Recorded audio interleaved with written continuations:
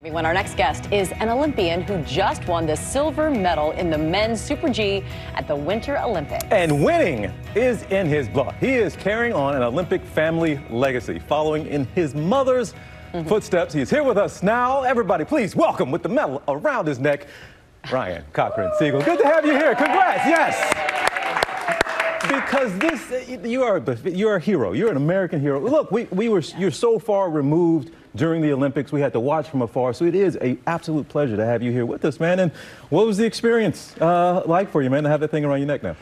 Thank you for having me, first off. Um, it's been wild, a crazy week. Definitely could not have imagined all of this happening. But um, yeah, I mean, I think for me, I'm just a skier. You know, I like to go out there and have fun. Uh, to go through this whole experience has been dream come true for sure. You're a decorated skier now. Yeah. and as we mentioned, you are following in your mother's footsteps. Your win comes 50 years after she won gold. So wow. I'm curious what that phone call was like to your mom after you won. It was just um, so many emotions. I think we were just so happy. Um, my sister was also on the call, and we just, you know, shared the moment. I think she talked about how proud she was, and I think also knowing that, you know, I was always capable. Just a matter of actually being able to do it is a different story, and um, it's something that I think we get to share too that like you know, with life and, and that mother-son bond that we have is and pretty special. It's not just your mom, both other Olympians in oh, your yeah. family. Who else yeah. was it? You had yeah, several I have others. my cousin Jimmy, and yeah. then my aunt Marilyn, Uncle Bob, and then my aunt, aunt Lindy as well. All so Olympians. There's six of us, six okay. Olympians. Yeah. Wow, Ryan, and your story is all the more remarkable because a year ago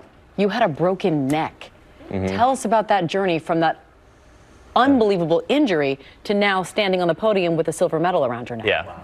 I will say it was a minor broken neck. Um, it could have uh, been much, much worse. so I know, I know, but yeah. it was um, obviously scary at the time, and yeah. I think um, I just went through the rehab process and had a really good surgery with my doctor, and just worked every day. Um, and you know, it was it was a progression going from injury back on skis, back on snow, all that, and then obviously. And mentally, what's that like? You know? It was challenging at first. Um, I think I've been through various injuries before, and, and you just have to learn how to overcome it. Um, trust, you know, that you've been a good skier before, and that that'll come back. And then I think by the time I was at the Olympics, it was you know, I wasn't thinking about that. I was just focusing on skiing. And right, do I have it right? You have do have a scar from it? I do have a scar. Yeah, it's a pretty cool one. Wow, yeah. a cool yeah. one. That's yeah. a minor, and it's minor a minor, broken, yeah. yeah. broken neck. Yeah. Ryan, you, you, oh my goodness, there's no such thing as a minor broken neck, is there?